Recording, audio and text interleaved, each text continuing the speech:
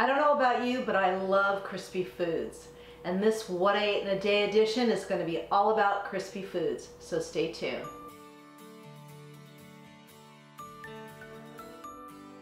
Hi, Debbie Chew here from Chew on Vegan and welcome back to my kitchen.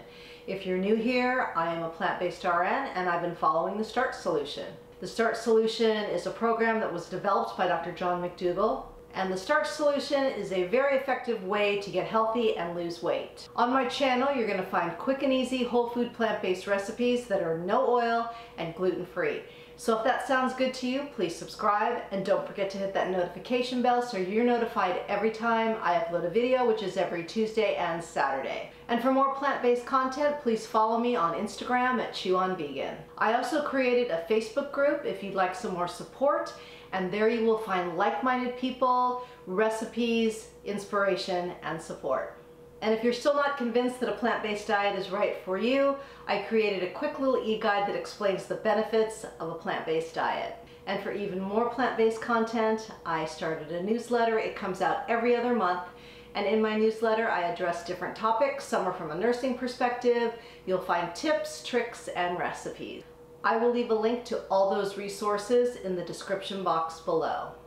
And make sure you check out everything in the description box. There's a lot of different resources, not only the ones I mentioned, but there's more. I also have links to my favorite kitchen tools and other products that you might like and find helpful. If you would like to support my channel monetarily, you can leave me a tip by hitting that thanks button right below this video and all donations are used to support this channel and I appreciate all your support. As I said in the intro, I'm going to be doing a what I eat in a day video and I'm going to feature crispy foods. Sometimes I just want crunch and crispness in my meals. It's very satisfying. And I will be showing you three different recipes that you can interchange at any meal, breakfast, lunch, dinner, whenever you eat those meals, whatever works for you. So let's get started. So the first thing you want to do is get your waffle iron heating up. And this is a super simple batter that you can use. You could use it for pancakes as well. It's a little bit thicker, uh, so I like it better for waffles, but you could thin it out a bit and use it for pancakes. So we're just using a cup of oats. I've got a tablespoon of flaxseed and a quarter teaspoon of cinnamon. We're gonna put in about a teaspoon or so of pure vanilla extract. And then we're gonna do one banana and you wanna make sure your banana is super ripe, like this one, a lot of brown spots. That way it's gonna really make it sweet. And the flaxseed is taking the place of eggs. It's gonna help everything stick together. And then I'm gonna put about a cup and a half of water in here. This recipe is super low fat, so it is great for weight loss. So I'm gonna go blend this up and we're gonna make some waffles. So here's your batter. We're just gonna pour it right into this nice hot waffle iron.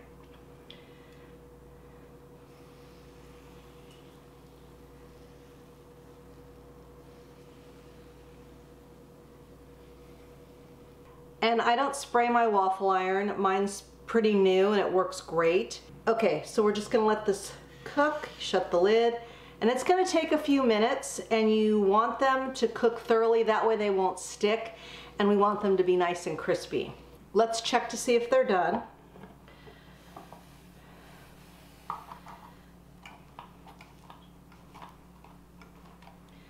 think so. Yeah, you want them to lift off pretty easily. Yeah.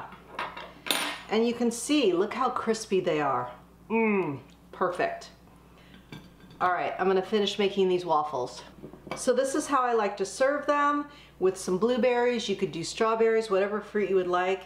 And then just a little bit of maple syrup, about a tablespoon. And that is it, crispy waffles. Now you could have this for breakfast, lunch, or dinner, however you wanna do it. I've done all three. Next up, I'm gonna make crispy spring rolls. I've got my wrappers here. And the first thing I'm gonna do is I'm going to make some strips of tofu and I'm gonna crisp them up in the air fryer first. And then I'm gonna shred my veggies and then we'll put it all together. So I'm just gonna make some strips here.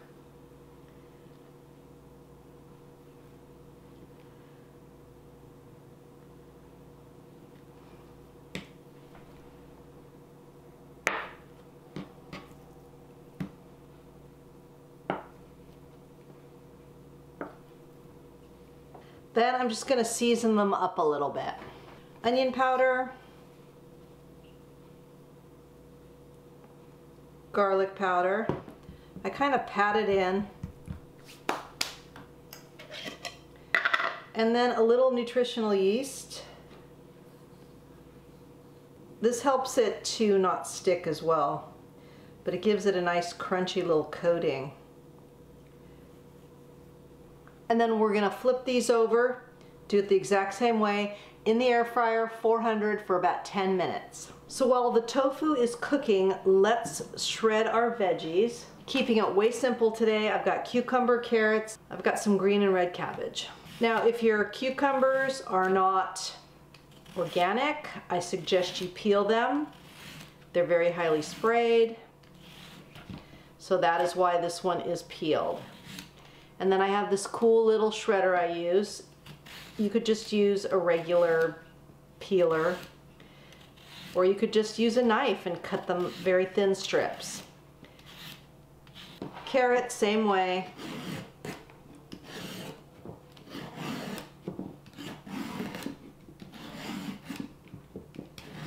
Okay, you get the idea. I don't need to stand here and show you how to do this for the next five minutes. Not that it's gonna take that long, but anyway, I'm gonna check on the tofu. I think it's just about done and then I'll show you how I put these together and how we cook them. Okay, so I'm by no means an expert at doing this. It's always, yeah, it's a struggle.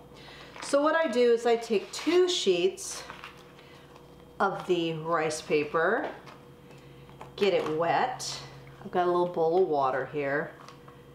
Okay. And then what I do is I put it on my little cutting board, wet it down, and I let it just sit for a minute and get soft. Not too soft. And then I just wet it a little bit more and just keep checking on it. Because you want it to be able to roll, but you don't want it to tear. Okay?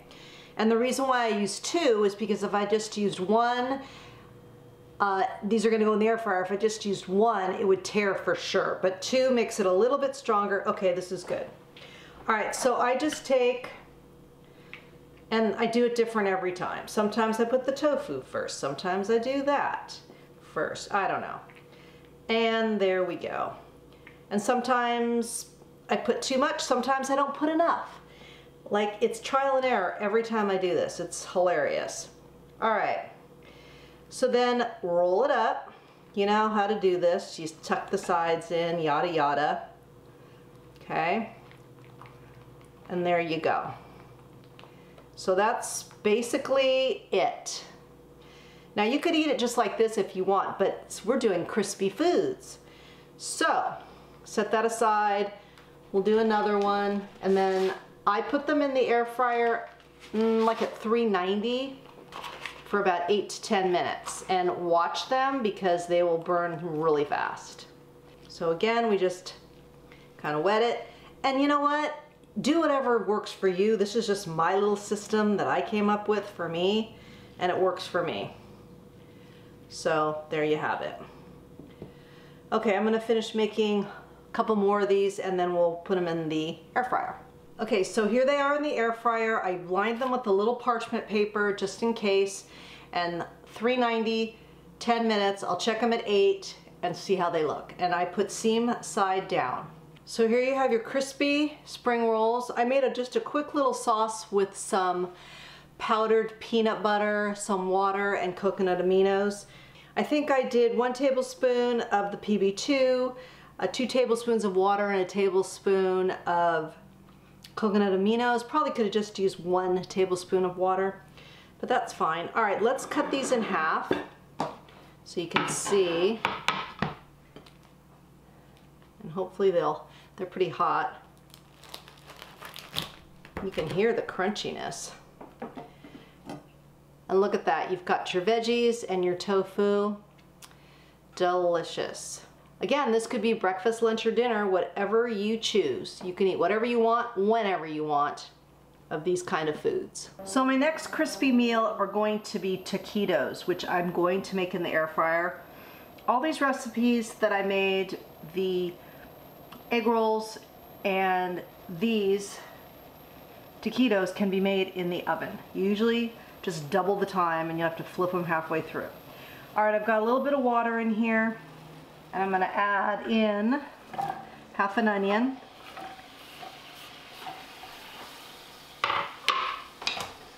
We'll let this cook for a few minutes till the onions start getting soft. And we're gonna add in a couple cloves of garlic. Or a little more. And we'll just let this cook for about a minute or so. Now we're gonna add in our spices, salt, onion powder, garlic powder, cumin, and oregano. Exact measurements will be in the description box. Then we're gonna let this cook together for a couple of minutes. These come together so easy. Now we add in a half a cup of veggie broth, half a can of diced fire roasted tomatoes, and a can of chickpeas. We're gonna stir this, get it all combined, and we're gonna simmer this for about 10 minutes. Now if you wanted to make this a little bit spicier, you could add in some cayenne pepper, but I'm not gonna do spicy right now. Now we're gonna do a quick mash of these. I'm gonna put them in a different bowl because I can't use metal in this pan. All right, so I've got my air fryer. I've got some parchment paper in there. And then as you can see, I mashed up some of the chickpeas, but we do have some that are still whole. So you have some different textures in there. Now this, now this is like my egg rolls. Sometimes I put too much, sometimes I put too little. It's always like an experiment every time I do it. So, we'll put some of the filling down the middle.